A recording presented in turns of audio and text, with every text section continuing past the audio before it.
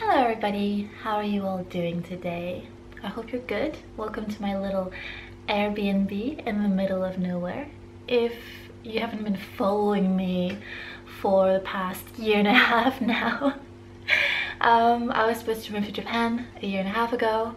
Corona happened and then Japan just stayed closed to every kind of visa. I have a student visa and uh, yeah, I've been on hold for a year and a half. Lived a year in my auntie apartment in Brussels, lived six months at my mom's, well, with my mom and her husband, and then for personal reasons I had to move out on the 1st of October, which is why I'm in this Airbnb for one month, hoping that the borders are going to reopen by then right now I'm feeling very pessimistic about it. I'm sorry to like start the video like this, but today I woke up and I was pissed off. I was angry because nothing is moving and a year and a half is too much without any uh, information or communication from the Japanese government. So I'm sorry to start the video this way, but today I'm so mad. I woke up mad. I was like, did I just spend this much money to extend this wait, this wait that has no end?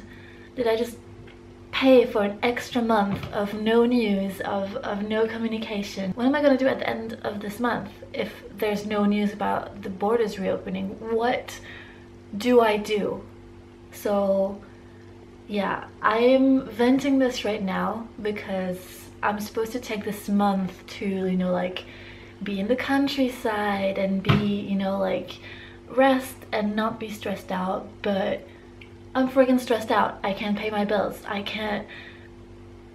What? I'm freaking out. I went to sleep yesterday and I was like, what am I gonna do? And I woke up and I was like, what, what the F? What the F is happening? Um, I'm so sorry. Um, hopefully um, I can watch this next episode without feeling too angry but actually this epi next episode is one a very chatty one and two nothing really happened like one major thing happens and then that's about it. So what I think I'm going to do is actually episode 13 called uh, solo trip to Japan 2017 trip. Typhoon broke my strawberry umbrella title says all. There's like no mystery about that. So um, what I think I'm gonna do is maybe watch the whole episode or watch the episode segment by segment and then give my notes afterwards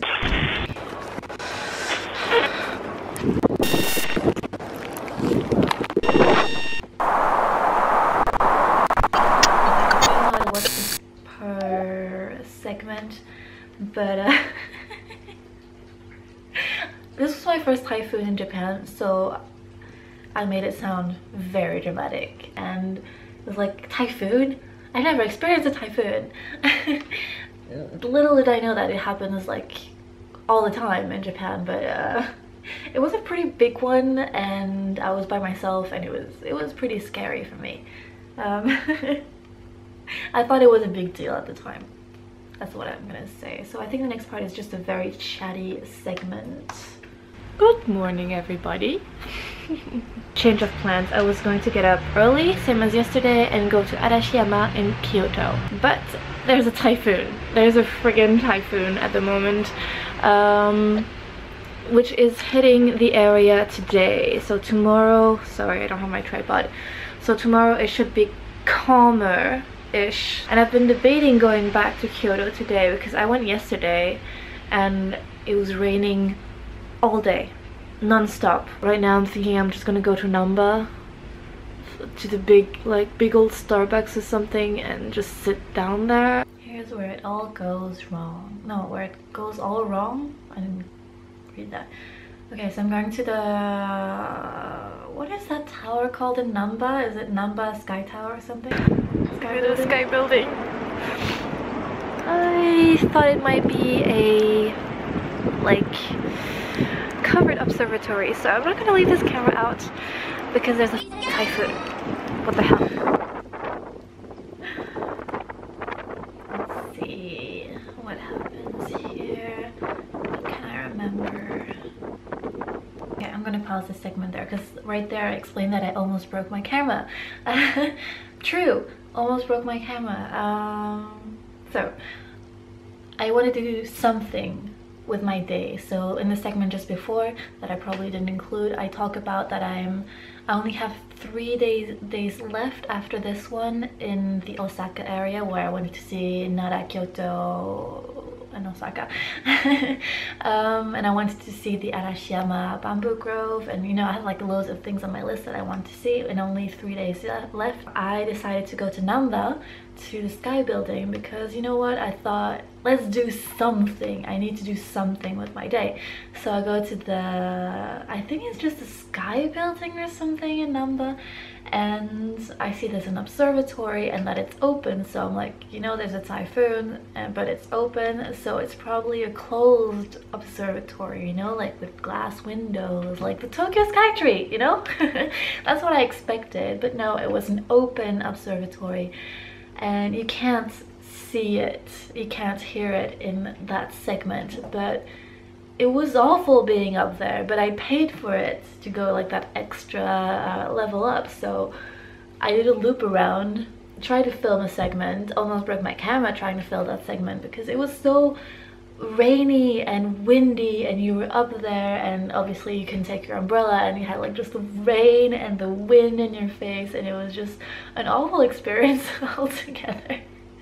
I mean it's funny now but at the time I remember that I had walked from probably one of the Namba stations like the JR or the normal metro station and I had gotten lost. Duh definitely remember I remember turning around a lot of time because I could see the building and I remember there was construction and I couldn't figure out how to go to the building.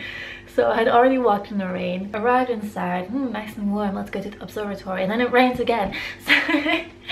So I definitely remember that day and then I remember being like okay like screw it let's go back downstairs. Like I think a few people went with me and had that same reaction and were like I'm not staying in, on the top of this building during like the beginning of a typhoon. So went back down to the normal level with the windows and stuff tried to turn my camera on would not turn on freaked the f out because i was at the middle of my three week long i think that's three weeks trip and my camera was basically dead.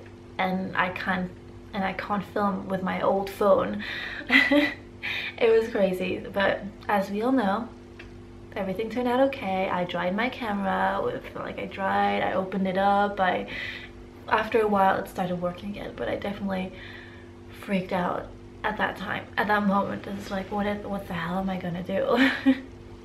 So in this segment i explained that i was scared and i think that after that i just go and try to get wi-fi. It was a whole friggin mess of a day altogether because from what i remember I try to get Wi-Fi afterwards. I go to one cafe, the Wi-Fi sucks. I go to another, uh, maybe another Starbucks or something like type of cafe and the Wi-Fi sucks. So I know it took me a while to find a place where I could probably sit down and read my emails and you know get up to date on social media and stuff like that.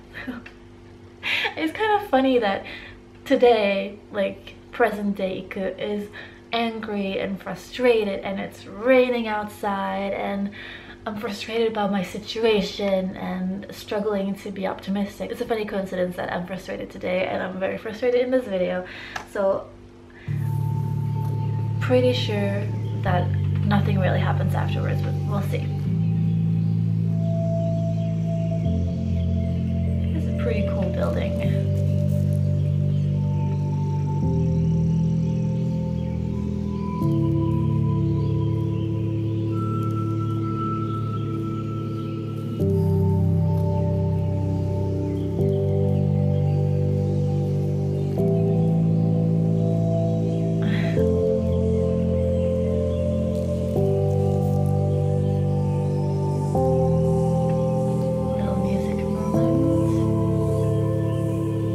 yeah, the tube thing, like the escalator and a tube thing, that, that part's pretty cool, like this part.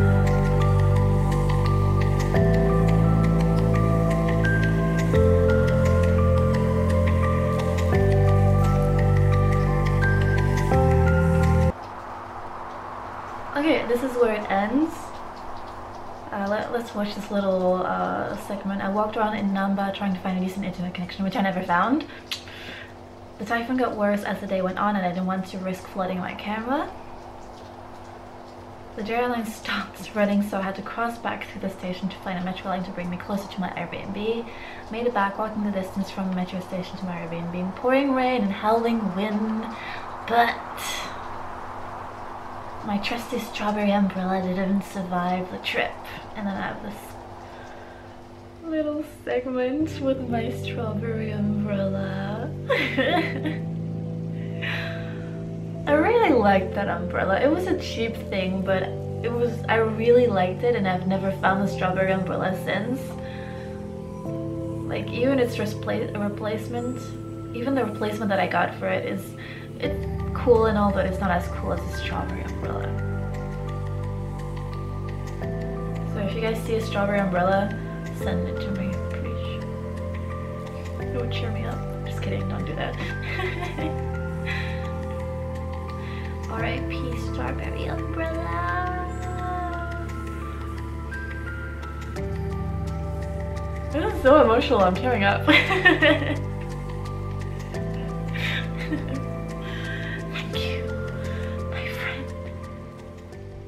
yeah so that is what happened like i mentioned just before uh, i looked for an internet connection around Namba, couldn't find it went home with like if you can remember i don't remember which episode it was it wasn't was maybe the second one in osaka where i there are like two i think I think there are two Namba stations, the JR Namba station and like the one with the other non-JR lines. And they're so far away from each other that, you know, you have to go all the way through the station and I think it takes, and I'm pretty sure it takes at least 10 minutes. Maybe it felt long, maybe it wasn't that long, I don't know, but I, I feel like it was a long walk from one station to another even though they're both Namba stations. I was looking for Wi-Fi and didn't find it decided to go back but that's when the typhoon really started to kick in and the JR lines closed down I was like how do I get back to my Airbnb? From I can remember, it was a few stops, uh, so it's not like I could walk from Namba to my Airbnb.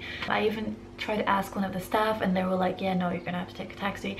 Like, they didn't even say, like, take the other train which is really weird but maybe we were like both lost in translation uh, speaking half Japanese half English that might make sense uh, but like after a moment of freaking out I walked like I practically ran like I, I walked. What's that thing like fast walk racing.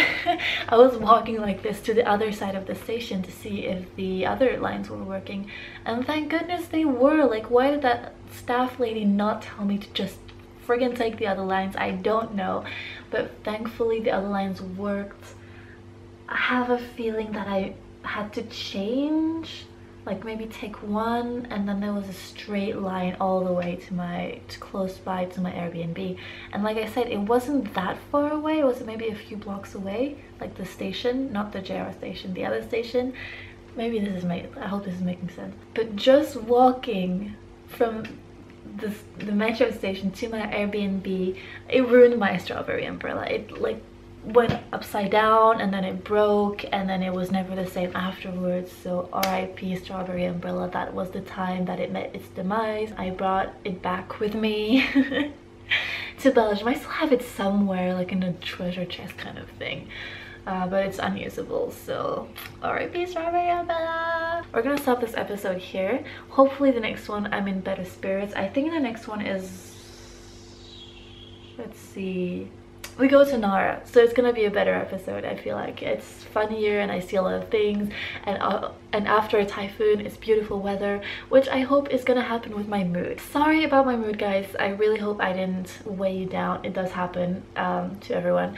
I don't like to show it but yeah hope you are feeling much better than I am and if you're not great. Big hug and uh, Pachi sleeping right here next to me so uh, pet photos always always help right am I right anyway uh, see you in the next one. L word you all. Uh, I didn't mention education is not tourism, but I feel like it's a given after all these episodes. This is episode 13, so education is not tourism ingrained in your head for any news about the Japanese borders and what students, spouses, and workers are going through. Before I start yelling again, I'm gonna go. L word you all.